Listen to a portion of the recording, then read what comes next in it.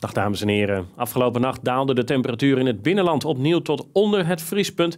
En der wist zich weer een heel klein beetje ijs te vormen.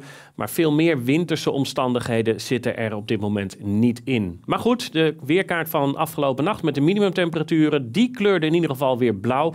In het binnenland op uitgebreide schaal lichte vorst tot zo'n 2 graden onder nul aan toe. Onder andere op de Veluwe, in het oosten van Brabant. Over het algemeen kunnen we wel stellen dat in de westelijke helft van Nederland de temperaturen toch iets minder laag wisten uit te komen. Inmiddels is het zonnetje erbij en dat zien we ook heel duidelijk terug op de satellietplaten. We zien wat bewolking boven het oostelijk deel van Duitsland, want nevel en mist, dat komt niet onze kant op. Bij ons dus veel zonneschijn, maar wij moeten ons vizier richten op de bewolking die zich ten westen van ons bevindt. Want ondanks dat de wind aan de grond uit het zuidoosten waait, waait hij op hoogte uit het westen en dus komt die bewolking toch geleidelijk aan onze kant op. Nou, dat kunnen we heel mooi zien als we naar de weercomputer kijken met de verwachting. En we zien daar dat na de opklaringen van afgelopen nacht en vanmorgen vandaag in het westen voorzichtig al de eerste bewolking komt opzetten. Vannacht neemt het aandeel wolken toe, toch zijn er in het oosten nog wel wat opklaringen. Ja, en morgen zien we dan uiteindelijk dat deze regenstoring ook over ons land trekt. Daarbij overigens wel in activiteit afneemt. Verder, ten noorden ervan weet zich dan weer een nieuw hoge drukgebied op te bouwen.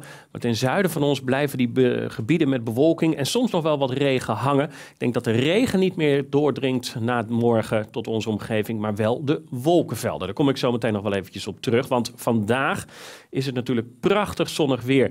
In het westen van het land zien we wel geleidelijk aan wat sluierbewolking doorkomen. Maar ik denk dat dat weinig invloed heeft en het levert er misschien vanavond wel een hele mooie zonsondergang op. Voor die tijd temperaturen in het binnenland in de dubbele cijfers, 10 of 11 graden op veel plaatsen. En een matige zuidoostenwind, kracht 3 tot 4. Vanavond en vannacht neemt dan de bewolking geleidelijk aan toe. Toch zijn in het oosten nog voldoende opklaringen aanwezig en neemt de wind ook voldoende af om daar wederom de temperatuur te laten dalen tot iets onder het vriespunt. In het westen van het land is het milder. En dat komt natuurlijk door de toename van de bewolking. Het blijft vannacht nog wel droog. Nou, morgen zien we dan een tweedeling. In het oosten van Nederland is het droog, met vooral in de ochtend ook nog wel af en toe de zon die doorbreekt. Soms is het een beetje een waterig zonnetje.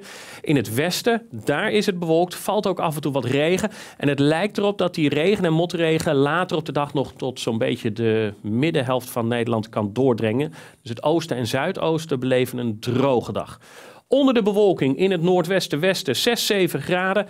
Misschien dat het op het Vrijthof nog een graad of 10 kan worden als het zonnetje echt zijn best doet. Er staat wat minder wind ten opzichte van vandaag. En de komende dagen de meeste zonneschijn in het noorden. De meeste wolkenvelden die zien we toch wel terug in het zuiden. Temperaturen zijn aangenaam voor begin maart. Maar tijdens nachtelijke opklaringen komt het af en toe nog wel tot wat lichte vorst.